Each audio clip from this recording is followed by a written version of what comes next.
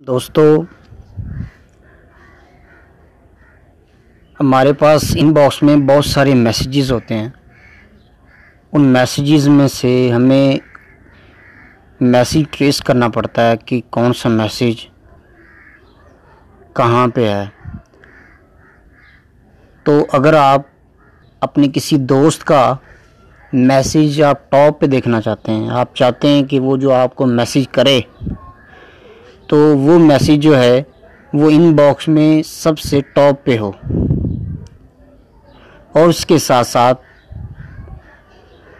Messages जब हम read कर रहे होते हैं तो उसका साइज़ जो होता है ना, वो बिल्कुल बारीक सा होता है, जो उनके आम तौर पर पढ़ा नहीं जाता।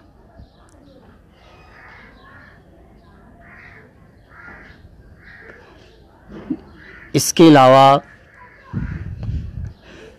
जब हम मैसेज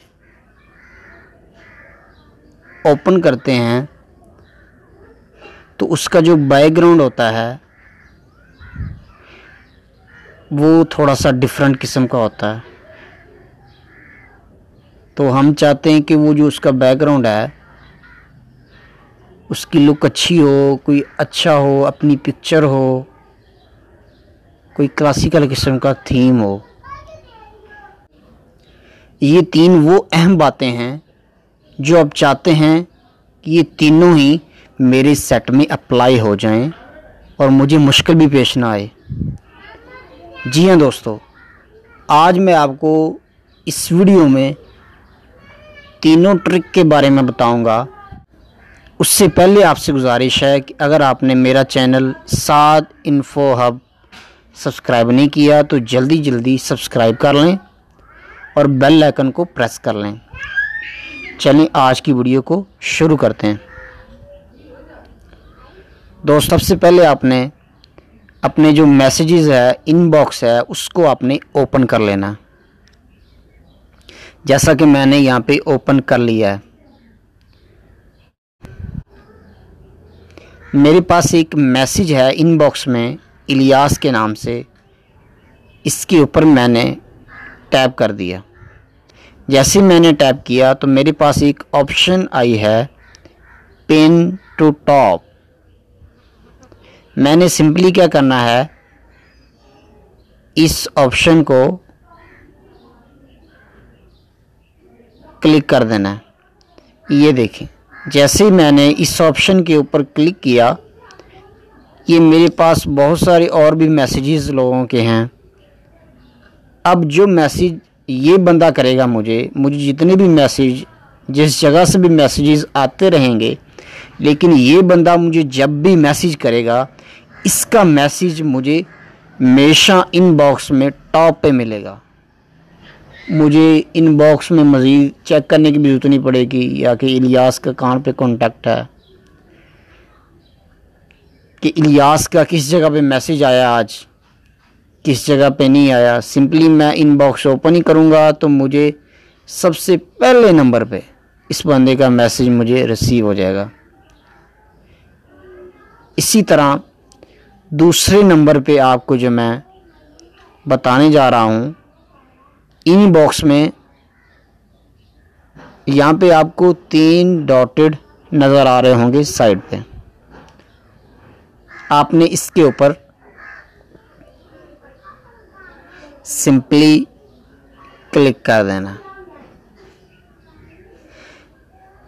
जैसे ही आप इसके ऊपर क्लिक करेंगे तो हमारे पास एक लास्ट भी ऑप्शन है सेटिंग्स की। सेटिंग्स के ऊपर आपने सिंपली क्लिक कर देना। जैसे ही आप इसके ऊपर क्लिक करेंगे तो आपके पास एक ऑप्शन मिलेगी बैकग्राउंड्स की। सिंपली आपने इसके ऊपर टैप कर देना। जैसे ही इसके ऊपर टैप करेंगे, दोस्तों, आप देख सकते हैं कि मेरे पास बैकग्राउंड पे जो थीम मिले हैं, बेशुमार मिले हैं, ये देखें। इन थीम्स में से मैं कुछ चूज़ करना चाहता हूँ तो यहाँ से मैं कर सकता हूँ। ये आप देख सकते हैं, जैसे ही मैं इसको चेंज करता हूँ तो इसका बैकग्राउंड जो कलर है वो साथ ही चेंज हो रहा है। अब मुझे ये भी पसंद नहीं आता। मैं चाहता हूँ यार जो मेरी इनबॉक्स में जो राइट मैसेजेस है, वहाँ पे मेरी अपनी फ़ोटो होनी चाहिए। तो वो भी दोस्तों आप लगा सकते हैं। उसका भी तरीका आपको बताता हूँ। आप चाहते हैं कि आपकी अपनी फ़ोटो हो यहाँ पे तो उसके लिए आपने सिंपली ये जो आपको ऐड का बटन नज़र आ रहा है प्लस के साइन में इसके ऊपर आपने क्लिक कर देना। जैसे मैंने इसके ऊपर क्लिक किया, दोस्तों मेरे पास मेरी गैलरी ओपन हो चुकी है। अब इसमें से लेट्स सपोज़ मैं अपनी एक फ़ोटो यहाँ पे लगाना चाहता हूँ। ये फ़ोटो एक लगाना चाहता हूँ यहाँ पे। ठीक है? इसको आपने क्रॉप कर लेना है। जितना आप शो करना चाहते हैं, वहाँ तक आप इसको कर सकते हैं। ये देखिए, मैं लेट्स सपोज़ ये एक पिक्चर है। इसको मैं अपने इनबॉक्स राइट मैसेज में बैकग्राउंड में और इनबॉक्स में मैसेजेस में लगाना चाहता हूँ। अब आपने सिंपल ऊपर जो बटन नज़र आ रहा है डन का, आपने इसके ऊपर क्लिक कर देना। ये ये देखें।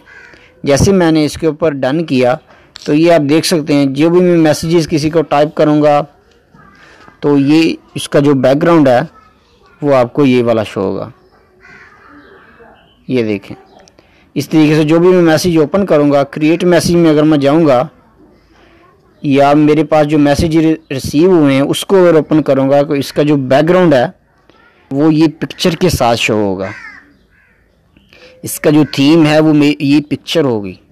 इसी तरह ट्रिक नंबर थ्री आपने फिर थ्री डॉटर्स में जाना, यहाँ पे सेटिंग्स में जाना सेटिंग्स में जाने के बाद यहाँ पे आपको एक ऑप्शन दिख रही होगी फॉन्ट साइज़ सिंपली आपने इसके ऊपर क्लिक कर देना। जैसे ही मैंने इसके ऊपर क्लिक किया तो मेरे पास एक ऑप्शन यहाँ पे मिली है यूज़ डिवाइस फॉन्ट साइजेस